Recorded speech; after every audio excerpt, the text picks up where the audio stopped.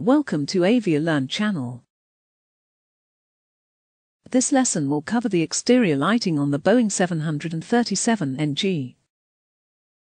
The exterior lights. The exterior lights on the Boeing 737 NG are used to illuminate taxiways and runways and to enhance visibility for other aircraft and controllers. Controls for the exterior lights are located on the forward overhead panel. Exterior lighting. Under the exterior lighting banner we will be discussing the following sets of exterior lights. Landing lights, both retractable and fixed. Runway turn-off lights. Taxi light. Logo lights. Position and strobe lights. Anti-collision lights. Wing lights. Wheel well lights. Landing lights. The landing lights are used to increase the visibility of the aircraft to other pilots, controllers and personnel on the ground. They also, albeit to a fairly limited extent, illuminate the runway ahead of the aircraft. They are used during takeoff, climb out, approach and landing. There are two different types of landing lights, retractable and fixed. The retractable landing light switches are located on the captain's side of the forward overhead panel, and the lights themselves are located just inboard of the pack ram air inlets, on the underside of the fuselage. Each retractable landing light switch has three positions. Retract, extend, and on. With a switch in the retract position, the lights are off and stowed. With a switch in the extend position, the light is extended from its stowed position, but is still off. With a switch in the on position, the lights are extended and illuminated. There is no speed restriction on the retractable landing lights, but it is common practice not to use them above 250 knots to reduce stress on the hinges.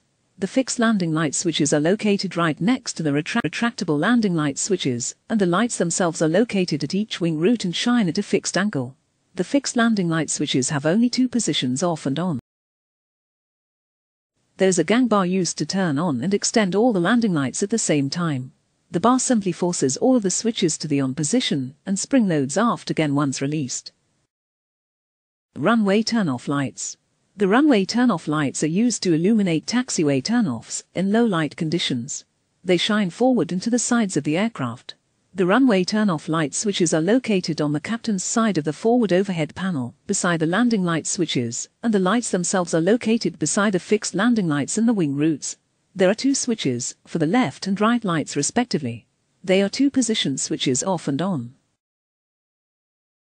Taxi light. The taxi light is used to illuminate the path ahead of the aircraft and increase its visibility to other aircraft, controllers and ground personnel. The taxi light switch is located on the captain's side of the forward overhead panel, beside the runway turn-off light switches.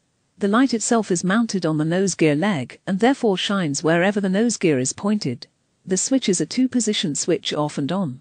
When the gear is retracted the taxi light turns off automatically. Logo lights. The logo lights are used to illuminate the airline logo on the tail of the aircraft. There is a single switch on the first officer's side of the forward overhead panel, and the logo lights themselves are located on the horizontal stabilizer. They are angled towards the vertical stabilizer to illuminate the airline logo. The switch is simply selectable on and off.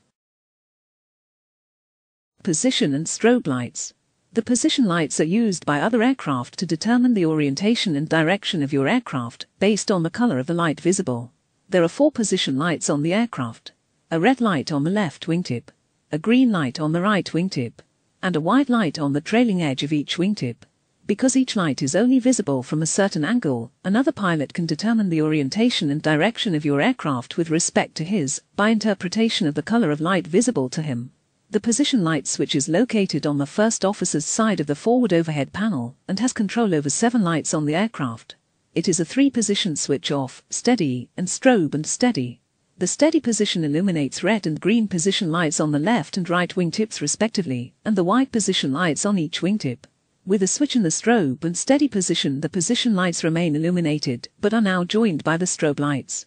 The strobe lights are used to increase the visibility of the aircraft to others, and are extremely effective at night. There's a white strobe light on each wingtip, and a white strobe light on the tail cone just above the APU adapter inlet. With the switch set off, neither the position nor the strobe lights will operate. In summary, with a position switch in the steady position, only the red, green and white position lights are illuminated. With a switch in the strobe and steady position, the strobe lights will flash in addition to the position lights.